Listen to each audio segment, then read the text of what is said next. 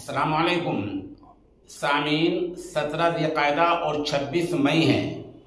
खबर का उनवान है गुजरात हादसे की मुकम्मल और तफसीली रिपोर्ट। ये वो रिपोर्ट है जिसमें एक दर्जन बच्चों समेत 28 लोग मारे गए हैं और हम ये बतलाएँगे कि गेम जोन क्या होता है।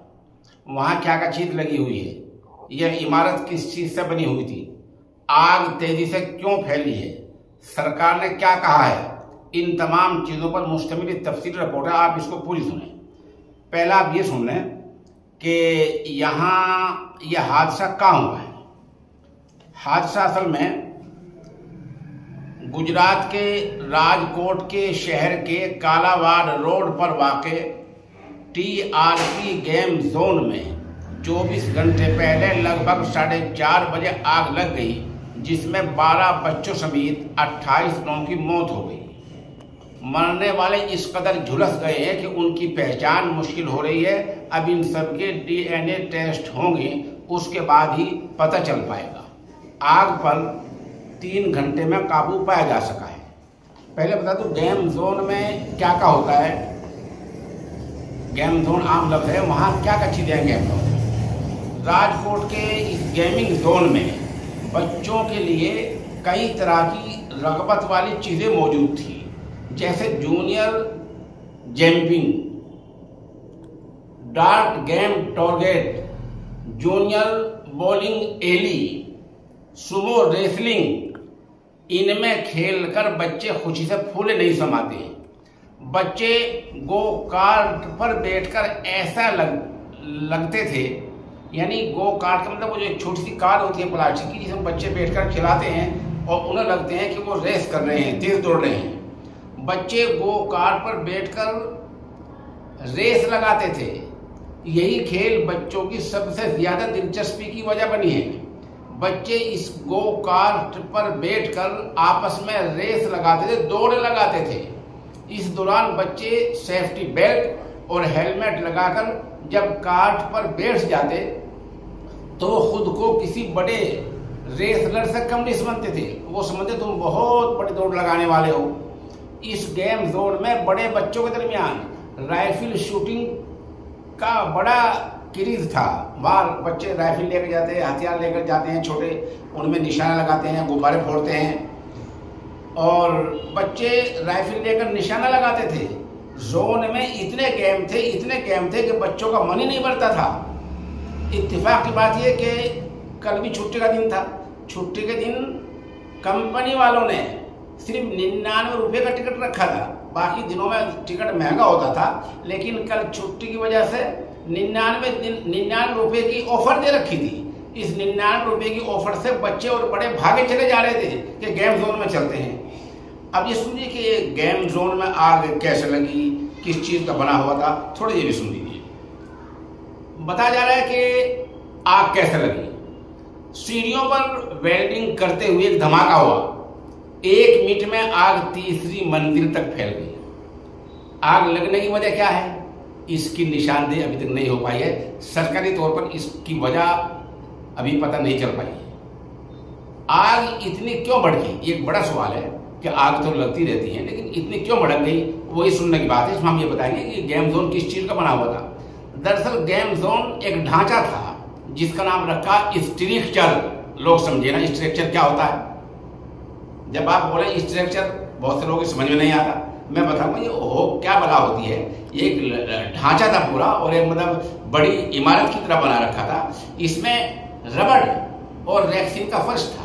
फर्श जो नीचे का होता है, वो बजाय कंक्रीट के बजाय सीमेंट के बजाय ईंट के बजाय रोडी पत्थर के होने के, होने का वो रबड़ लगी हुई थी, रैक्सिन लगी हुई थी। वहाँ ढाई हज़ार लीटर डीजल रखा हुआ था। कार ट्रैक के किनारे टायर रखे हुए थे। कार ट्रैक जहाँ वो छोटी कारें बच्चों की दौड़ती है देश की, वहाँ रुकावट खड़ी करने के लिए, रास्ता, डिवाइडर रास्ता तकसीम करने के लिए क्या रखे थे? रबड़ के टायर, बड़े बड़े टायर रख रखे जैसे आप तस्वीरों में देखिए देखेंगे। और टीन शेड में थर्मोकोल लगे हुए थे। थर्मोकोल, रबड़, रेक्सीन, इन चीज़ों से पूरा ढांचा जिसको स्ट्रक्चर का नाम दिया गया है, वो पूरा ढांचा इन रबड़ और टेंशिल थर्माकोल और लकड़ी।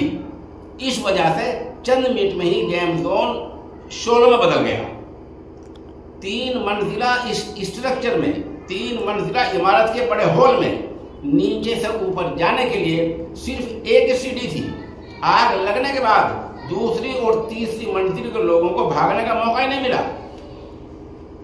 अब सरकार क्या कह रही है? सरकार कह रही है कि गेम जोन वालों के पास में फ़ाइल एनओसी नहीं थी। सवाल यह जब इजाजतनामा नहीं था तो उसको चलने क्यों दिया जा रहा था? इतना बड़ा गेम जोन जो बहुत कई सौ मीटर में बना हो, जहाँ बच्चे कारों में दौड़ रहे हों, जहाँ वीडियो गेमिंग जहाँ खेल रहे हों, जहाँ निन्यानवे रुपये का ऑफ़र का इश्तिहार पूरे शहर में लगाया गया हो, वो आपको नहीं दिखता आपने सिर्फ़, यानी पुलिस और नीचे जो एहलकार हैं, चंद पैसे अपनी जेब गर्म कर कर इसको बगैर एनओसी के लगने दिया है। चलने दिया है। राजकोट के पुलिस कमिश्नर राजू भार्गव अब अब कह रहे हैं कि गेम जोन के मालिक मैनेजर समेत चार लोगों हिरासत में ले लिया है। उधर क्या कह रहे हैं?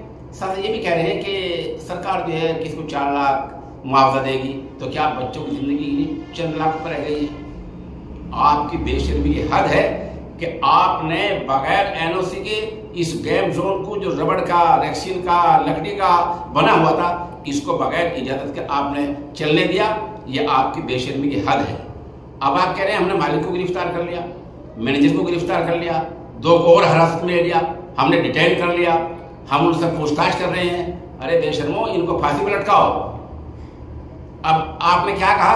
अब सरकार ने कहा कि राजकोट के तमाम गेम जोन बंद कर दिए हैं, जिनके पास एनओसी नहीं थी। शैतान किस्म के लोगों, तुम्हारी बेहाय की हद है। आखिर जब तक तुम ऐसे लोगों को फांसी नहीं दोगे, जो बगैर एनओसी के, बगैर मुकम्मल इंतज़ाम के, जो बच्चों की ज़िंदगी से खिलवाड़ कर रहे हैं, तब तक आप इन्हें कम वक्त में फांसी की सजा नहीं देंगे, तब तक ये बात नहीं आएगी। कोई और गेम जोन चला नहीं है। एक गेम जोन बंद होगा, दूसरा चल पड़ेगा, तीसरा चल पड़ेगा, चौथा चल पड़ेगा। यूँ ही होता रहता है, जब बड़ा हादसा होता रहता है तो बड़े अफसर आते हैं और बयान दे देते हैं कि एनओसी नहीं थी। अक्सर जगहों पर यह हो रहा है कि एनओसी नहीं थी, आखिर जब एनओसी के बगैर, यानी इजाज़त नामे के बगैर कोई चीज़ शारा पर मेन रोड पर हाईवे पर, और मेन बाजारों में चलती है तो उसका जिम्मेदार कौन होता है? आपके एहलकार जाकर क्यों नहीं पूछते कि एनओसी कहाँ है? एनओसी का मुकम्मल रिकॉर्ड ऑनलाइन होना चाहिए। वहाँ ऑनलाइन आपके पास जाँच का मुकम्मल इंतज़ाम होना चाहिए। तो आप पूरी मशीनरी इसके लिए जिम्मेदार है महज वो कंपनी के चंद एहलकार जिम्मेदार नहीं है। बहरहाल ये तफसील रिपोर्ट थी, जिसमें अभी तक जो हमारे पास रिपोर्ट आई है, वो एक दर्जन बच्चे मारे गए हैं, उन समेत कुल 28 लोग मारे गए हैं। और बताया जा रहा है कि कई लोग बुरी तरह झुलसे हुए हैं। ये मौत का आंकड़ा, मौत के आदान शुमार बढ़ भी सकते हैं।